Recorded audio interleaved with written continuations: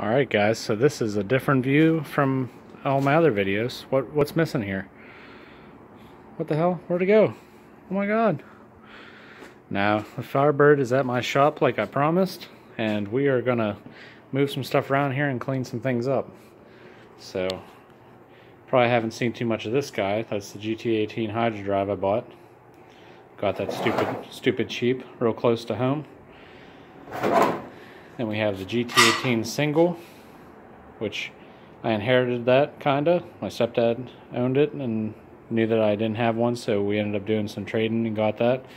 It's a bit of a mess, but I got I got other hoods to fix it, so that's a upcoming restoration project. Then we got the all original paint SS16 that the engine that I do believe Matt brought is on it now. Then we have another GT18 six-speed. Actually, I only have, do I? That's terrible. No, I only do have one of these, the twin GT18. Then we got the engine shelf, a bunch of plows, the 6710, the 6612, and that was a ST16, the red frame that's sitting up there.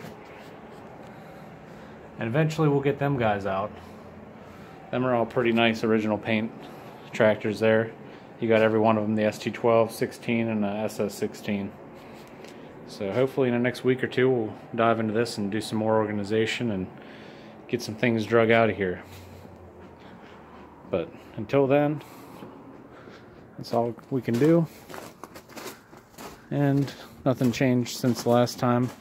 We just have uh, the newest edition, the SS12 here. So I'm going to be moving some stuff around and uh, might, might if we go back over there, we might input a little clip of the Firebird. Um, but all in all, that's all the tractors are doing. Just moving stuff around, getting ready for winter, and get some different projects in a different direction. So stay tuned, guys. Talk to you later.